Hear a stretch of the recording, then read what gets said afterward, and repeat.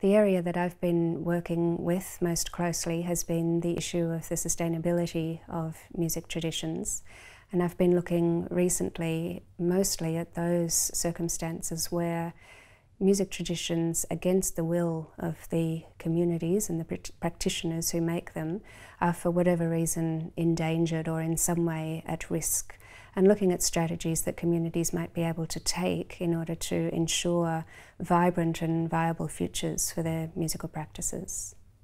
One of the flagship projects in this area is called Sustainable Futures for Music Cultures. And it really investigated the very complex set of factors that contributes to the strength and the sustainability of music practices around the world. Professor Huib Schippers here at QCRC led Sustainable Futures for Music Cultures and we were collaborating with three national and international partner organisations, one of which was the International Music Council, seven universities in Australia and in Europe and the United States, and a really world-renowned team of music researchers who led nine case studies of music genres around the world. One of the outcomes of this project is a really well documented and internationally tested model for understanding the dynamics of music cultures within their cultural and social and economic and even political ecosystems.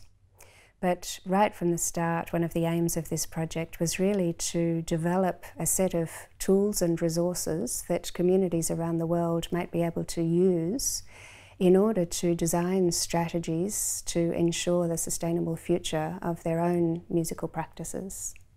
I've been able to draw on some of the findings of the Sustainable Futures for Music Cultures project in a recent project that I've been undertaking in Cambodia recently. I've just returned from six months on an Endeavour Australia research fellowship where I was looking at some of the links between the sustainability of traditional music over there